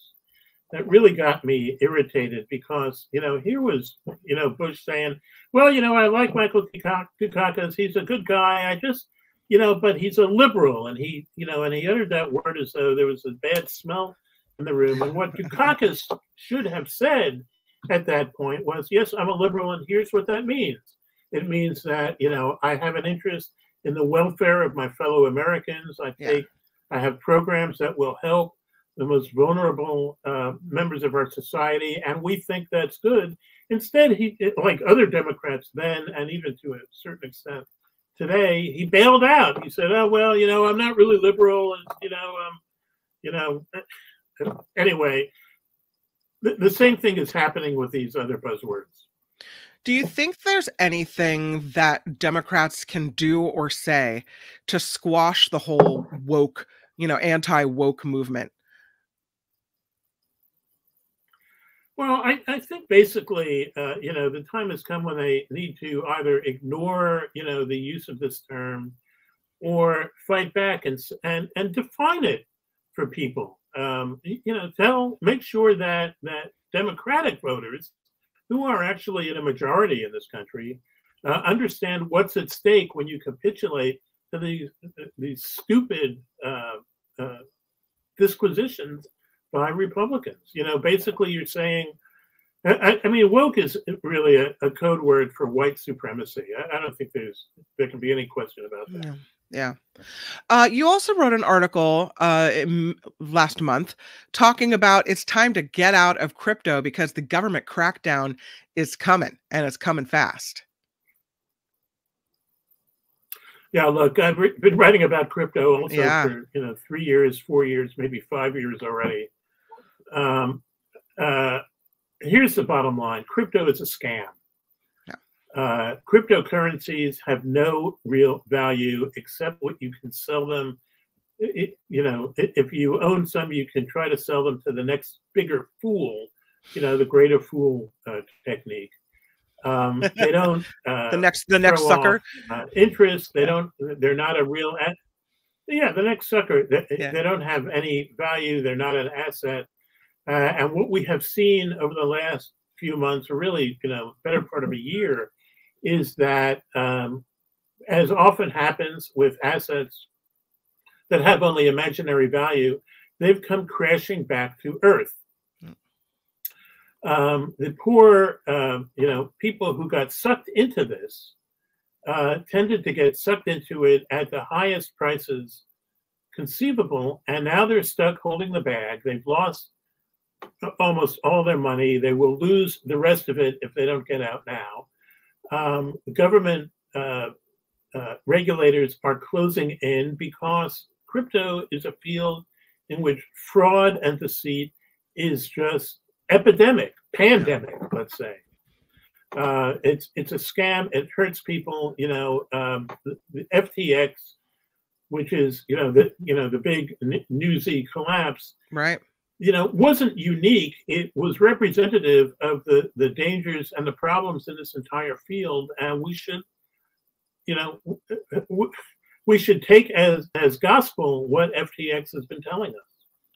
So when you say the government's closing in, do you mean they're going to put an end to it? Like you'll no longer be allowed to to pay for items with cryptocurrency, you'll no longer be allowed to buy it here in America, or what type of regulations are coming? Well, well buying buying things and services with crypto is already very difficult. It's very complicated. You have to go through a middleman. You have to pay fees. Um, it's really just not a substitute for using dollars, which we use. Um, what's happening is that uh, federal regulators are basically uh, ruling that crypto offerings are securities, and since they're not registered securities, they're illegal. Um, we are seeing uh, prosecutors and, and regulators closing in on fraudulent crypto operations at a very, very great rate. We're seeing the bank, the legitimate banking community is is basically you know, hands off this stuff mm-hmm. because they don't want to be infected by the same degree of fraud and and and deceit and just criminality. So I, I think basically um, the regulatory system has woken up. You know, they they're woke now against crypto. Um, they're closing in. They're going to regulate a lot of these businesses out of existence. Um, they're going to expose uh, the entire field as essentially fraudulent, and they have done so. I mean, the, uh, the the Federal Trade Commission, months and months and months, maybe more than a year ago, started issuing cautions to investors, saying, you know, stay away from this stuff, right? Because you're going to lose your shirts. And I think you know those warnings and those actions are going to just continue to intensify because none of the real regulators, the, the Federal Reserve, the banking agencies, all these things, they really do not want uh, the, the legitimate financial system to be yeah. Uh, infected by this thing. Do you feel like there's any possibility that the government will step in for for regular people left holding the bag that thought they were investing in something legitimate or that they've issued enough warnings now to get out that if you are left holding the bag at the end it's sayonara sucker to you your your own fault well there's just no mechanism for the government to bail anybody out. Um, you know, if you are an if you if you have money in a bank and the bank fails, then you you have you're automatically insured by the FDIC. Mm-hmm. Right. If you have uh, your money at a brokerage and the brokerage fails, uh, there's also an agency that will protect you up to a certain amount of, of money. It's not unlimited, but you know, two hundred and fifty thousand dollars per account and per person. That's that's a lot. Um, there are self-regulatory agencies that can help manage uh, losses, although they can't entirely bail everybody. There's no such thing uh, for crypto, and the crypto promoters have in the past sort of used that as a uh, you know as a virtue. They've said, you know, we're completely independent from government. Government can't uh, you know can't interfere they've talked about how a crypto transaction is irreversible. You know, if you send your your crypto uh, assets to somebody and it's the wrong person or they abscond with it, you don't have any way to get it back, and that's supposed to be good. Well, we all know because we all live in the real world that there are you know any number of occasions when we make an investment or buy something. Yep and the investment goes bad, or what we've bought never arrives, or is um, sure damaged or, or or improper or something, and we can get our money back because we go through our bank uh, or you know our credit card and we say you know we were defrauded and the bank or credit card will cover us. Mm-hmm. Uh, that just doesn't happen with crypto. No, uh, there are no way. There's no law. There's no system to do it. No, no. There are signs around the Bay Area where that'll it'll say uh, "Get crypto here" or "Pay with Bitcoin here." There's a Tesla dealership in a, a shopping mall in Marin where it says "Bitcoin accepted." I feel like these things are going to start slowly going away.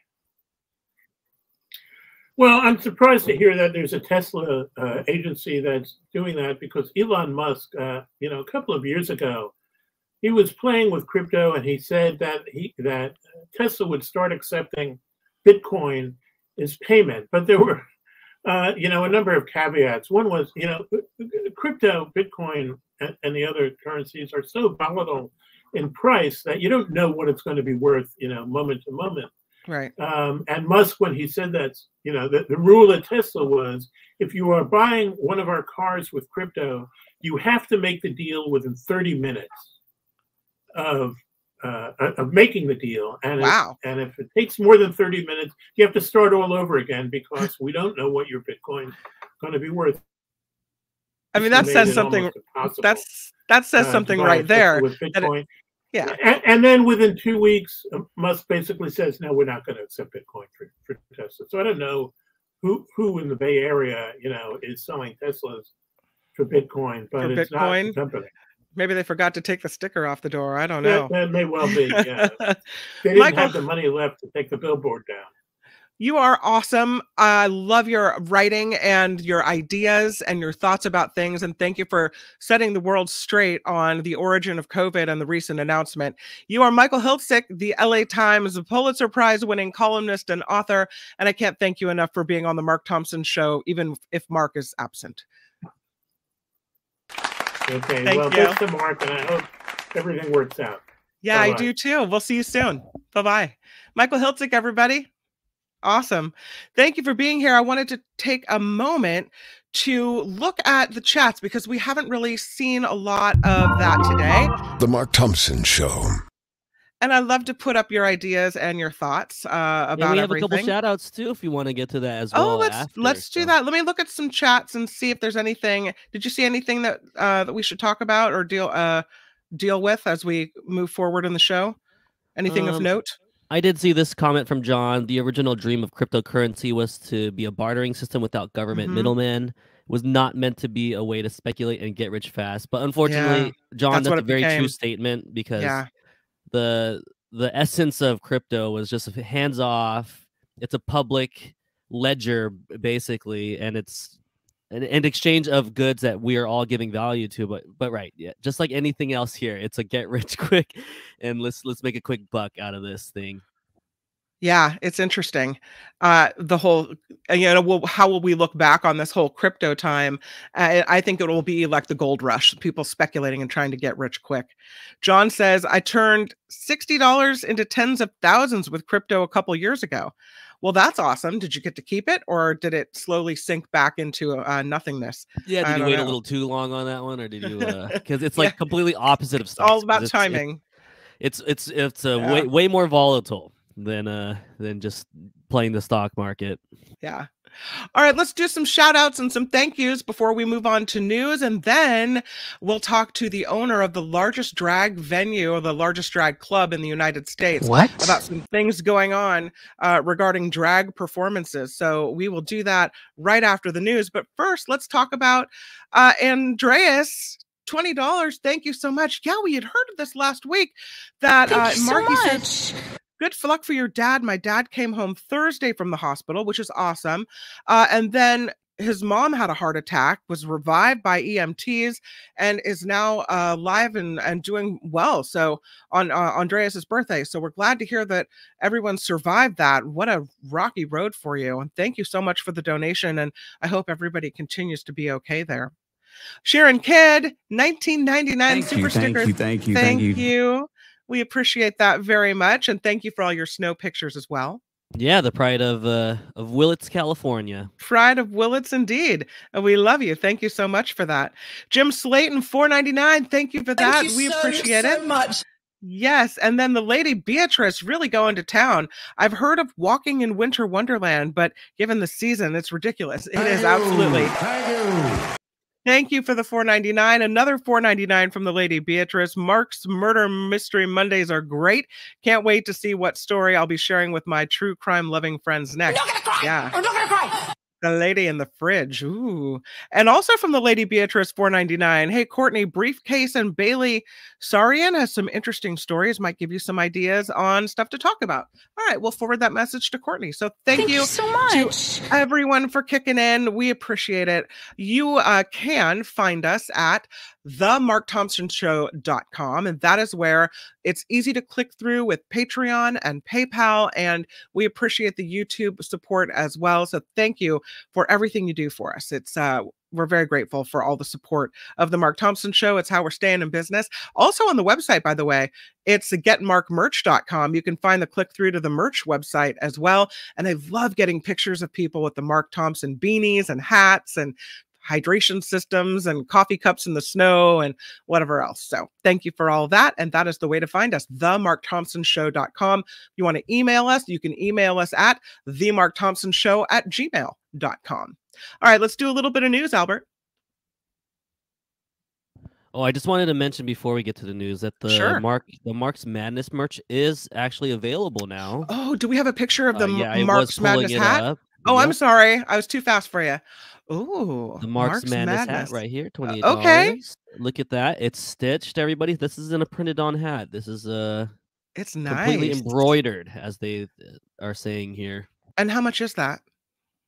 Twenty-six dollars for the Mark's That's not Madness bad. hat. and of course, Mark's Madness will be starting sometime next week. I think March fourteenth. So I got to kind of work on that, but it's Okay. an exciting time of year, and uh, we'll see which uh, which of the drops are popular enough to win. So, But the hat is there and that is up and running. So get it while you can, right? Because it's a limited time only.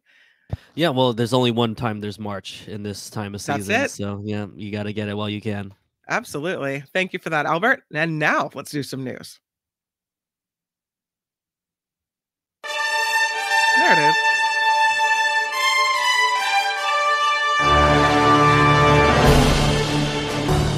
And this report sponsored by tax attorney Steve Moskowitz at 888 Tax Deal.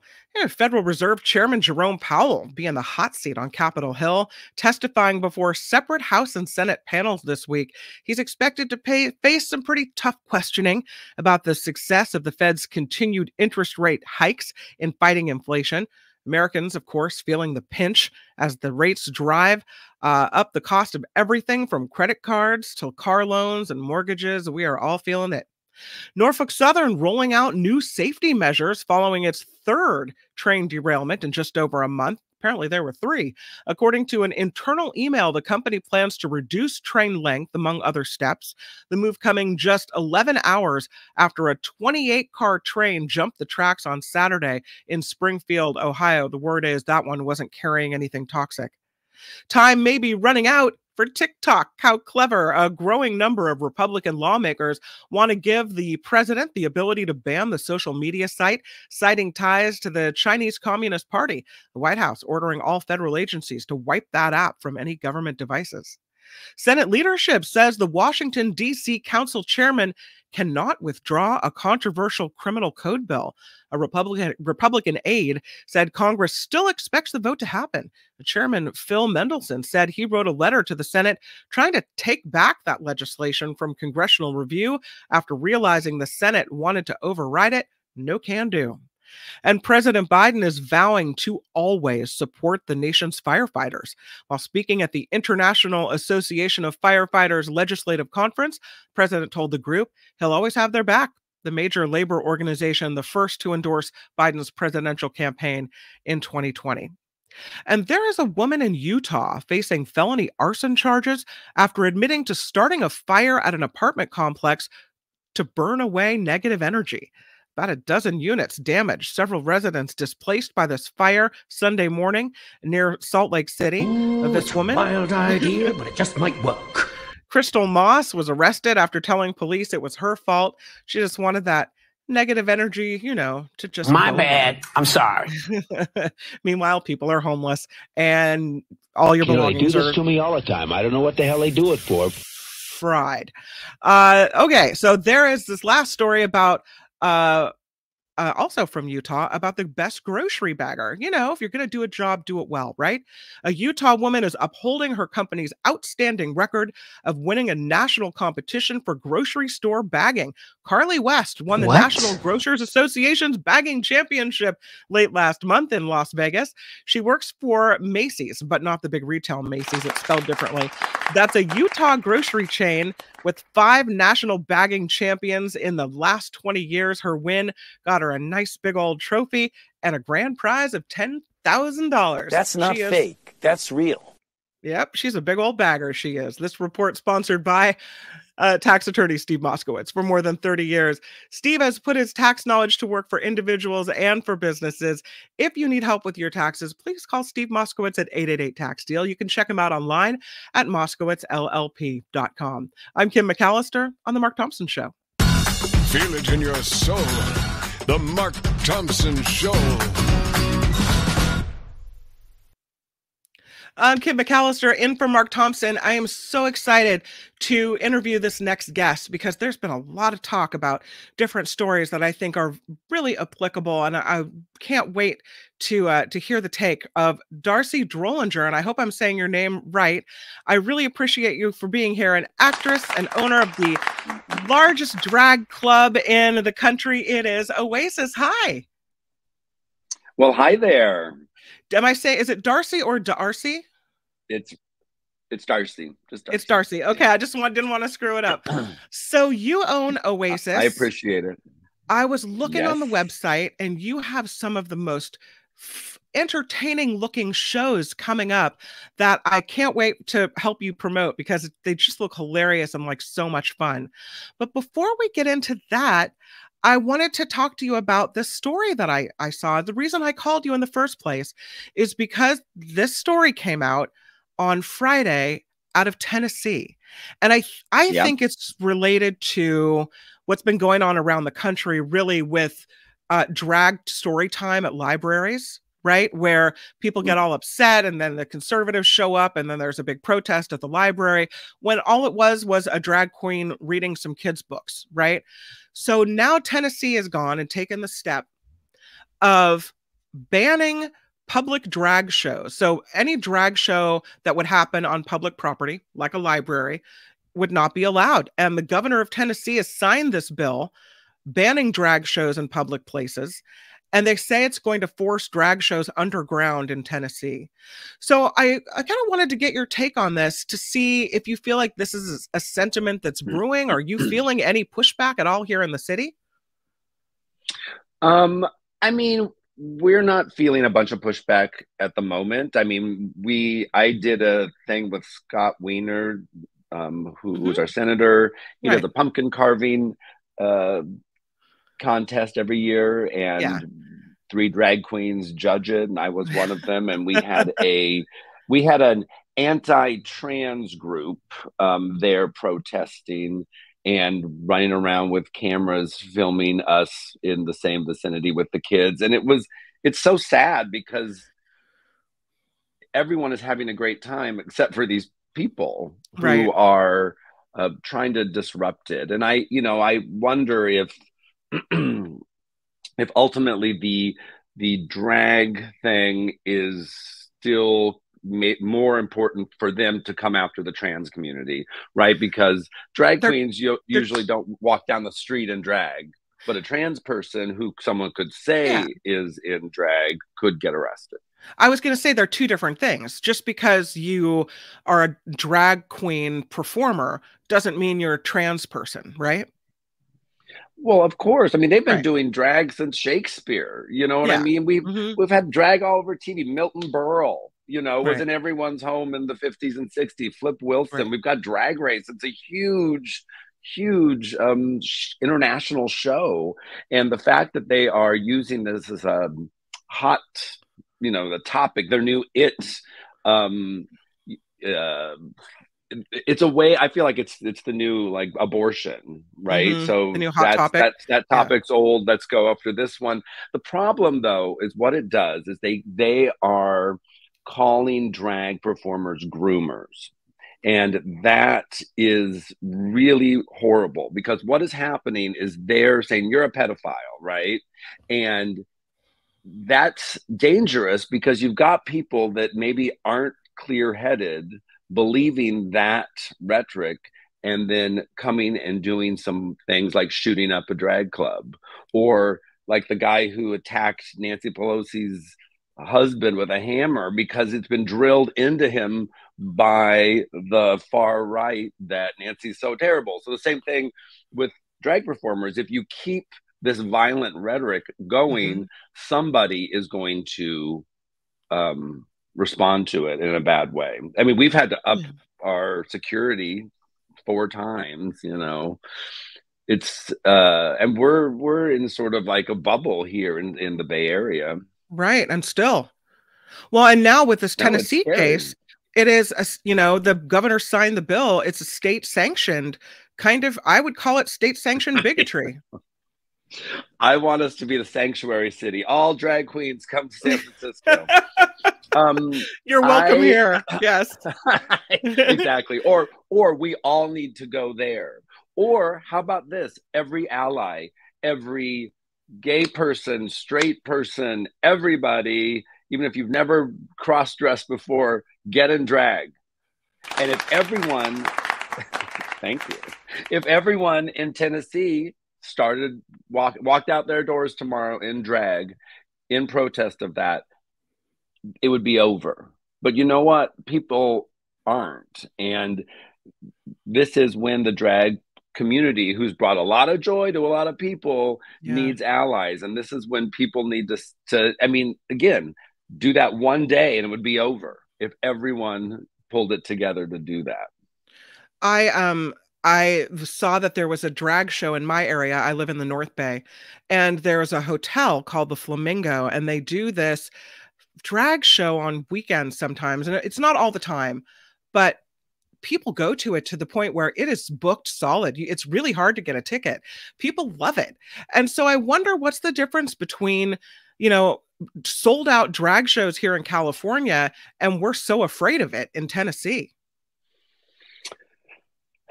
yeah yeah where they're they're so afraid of it no Yeah. you know they're not afraid of guns No, no, they're not. they're not afraid of they're not they're not Yeah. afraid of guns but they're afraid of um, false eyelashes Are drag queens scary? Should we be afraid? Yeah. Oh my god. um, you know what? I it, I wish I wish they were. Maybe if, if drag queens were a little more scary, that uh, Yeah. people would back off. But no, I mean, the whole job of a drag performer is to you know bring some sparkle into people's lives. You know, it is.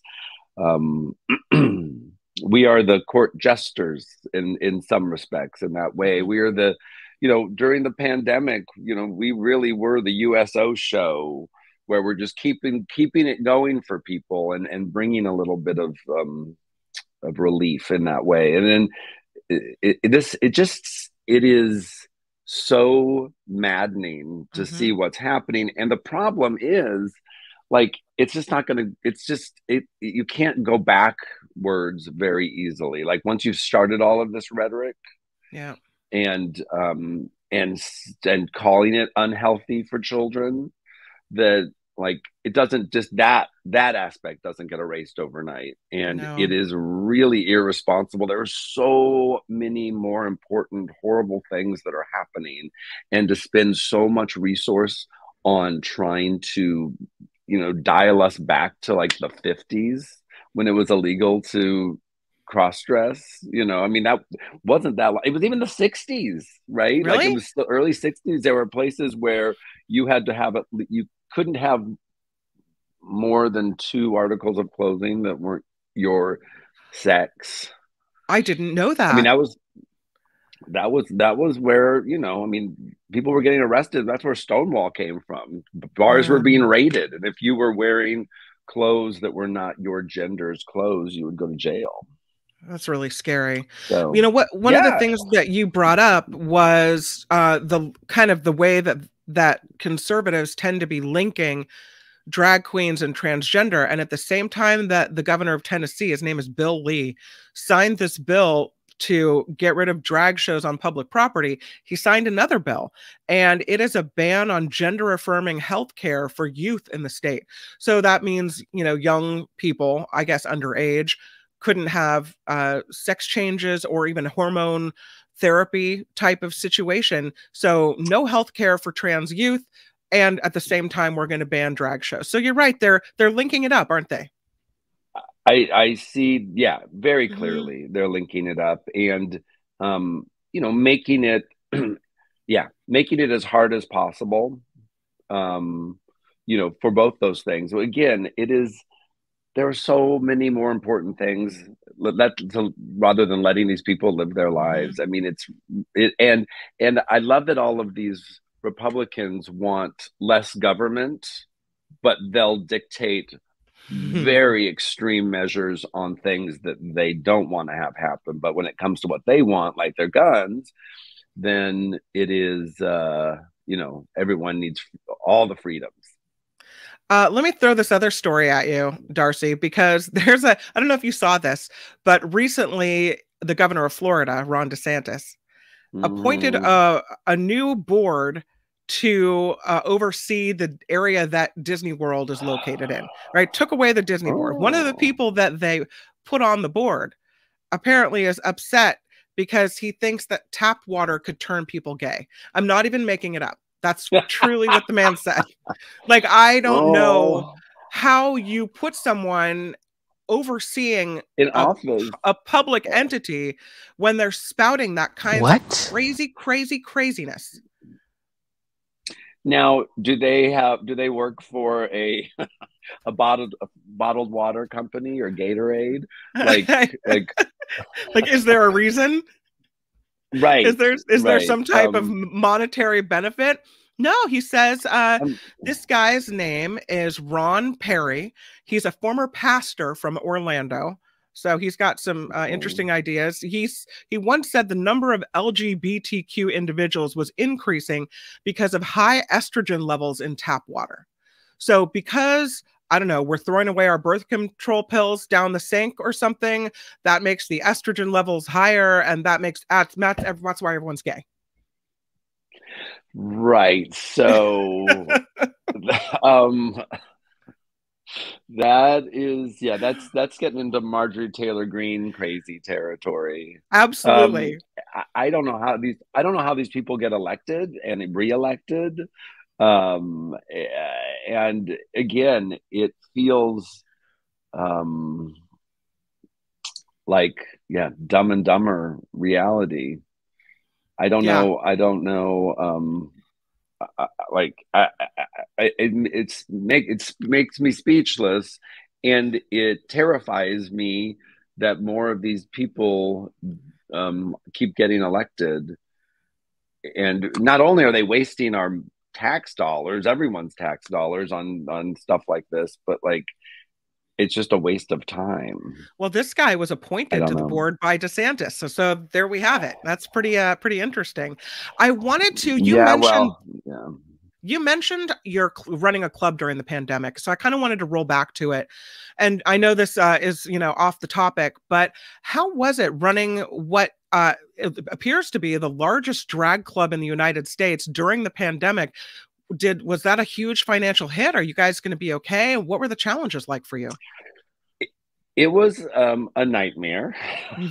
okay, because uh, you know, when you're in when you are in the um, entertainment field, our job is to bring people together and entertain mm-hmm. them. So when when we make our money from bringing people together into the same room, and we can't do that, um, everything falls apart. And we had to, you know, like every good drag performer, if the um, DJ lo- lost your music or the zipper breaks on your outfit, you get some duct tape and play another song and you the show must go on so in that same kind of scrappy attitude we were like the show must go on so mm-hmm. the first thing we did is we created um, something called meals on heels which was a drag delivery service where we would deliver a meal and a curbside drag performance for oh people. that's awesome it was really great it yeah. was it brought some sparkle into people's lives it helped me employ some of my staff and some mm-hmm. drag performers that otherwise weren't making money we got a lot of good attention um, around that and really helped sort of amplify that message. And that's something we've stopped now, but I'm kind of thinking about bringing it back because it still yeah. was uh, really a lot of fun.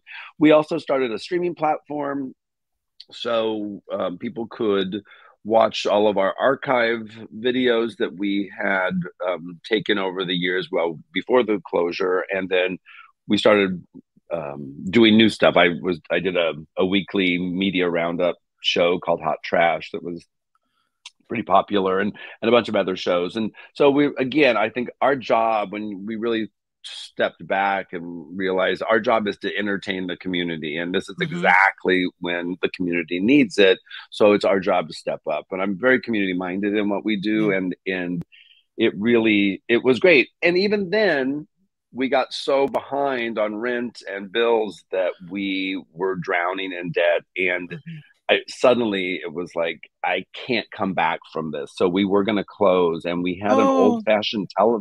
We had an old fashioned telethon, and um, we did a twelve hour live stream telethon with people performing live and uh, celebrities sending in videos.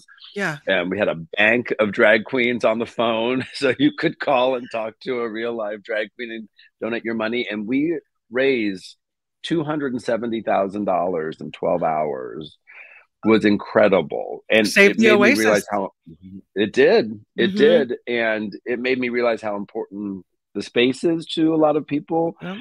and you know really gave me the courage to keep going because that was mid it was march of 20 um 2020 yeah. And uh it uh no 2021 march of 2021 um and uh, it gave me the courage to keep going. And now, and we're here, and we're we're we're doing good. You know, there's we're still I um, it, we're we're I feel like. 80% back in terms okay. of people coming out. There sure. are still people that people that don't want to come out. I think the tourism is not as booming as it was four years ago, mm-hmm. but um, little by little. Um, so I've got a how great can team how can we help you uh, promote things that are upcoming? What do you want to talk? What do you want to tell people that come see at the the Oasis? Well, you know, we have um, an amazing Saturday night sh- um, drag show called Princess, where we bring on a lot of the Ru girls and have some great themes. Tito Soto is the producer of that, and it is um, spectacular. Uh, we also do a monthly uh, show called Reparations, which is an all black drag show hosted by Nicki Jizz, who has also been voted the best drag queen in the Bay Area uh, for um, a number of uh, years in a row. People can get tickets at sfoasis.com. We also do a, a lot of cabarets. Um, in June, we're doing Sex in the City live. Um, so you can see, I play Samantha Jones. Um, I saw some gold, Golden Girls on there too. yes, we do. Well, we do Golden Girls in in December. Uh, that's actually at a bigger theater. We do that at Victoria, but every December okay. we do the Golden Girls, and and this October we're doing um, an immersive Rocky Horror experience, oh. where the Rocky Horror show will happen all around you okay. um, which is uh, a lot of fun. And then, you know, we have all different kinds of uh, parties and Sunday tea dance for those who want to dance in the afternoon, and lots of lots of um, great events. So we, we're we're pretty much we're a hybrid space. We are cabaret and theater in the early part of the evening and we turn into a nightclub in the later part of the evening. So fun. I hope people go to it's sfoasis.com Yes. Right? To go check it out, go see Yes. a drag show in the city and thank the ever loving good Lord that we live in the Bay Area or California and not Tennessee or Florida. Tell Right? me about it. Yes, we are in a gorgeous. Yes, we're in a gorgeous, fabulous bubble, and take advantage of it. Yeah. Support local artists. Support um, local drag performers. I also started a nonprofit called Oasis Arts, and people can find out about that too. And that's that mission statement is to really help underwrite the drag performers in the city. So um, Awesome. it's it's a, it's a Yeah. beautiful, beautiful. Um, I think uh, tradition, and we need to keep it going. I'm so excited to come to the Oasis and check you guys out. D'Arcy Drollinger, thank you for being here and for talking to me about all the the current events surrounding drag performances. I appreciate you. Well, thank you so much. Thanks for um, thinking of me and, and inviting me on. Absolutely. I hope you come back on the show sometime. Thank you so much. Me too. Okay. Bye bye. D'Arcy Drollinger, everybody from sfoasis.com, the largest drag club in the United States, right here in San Francisco.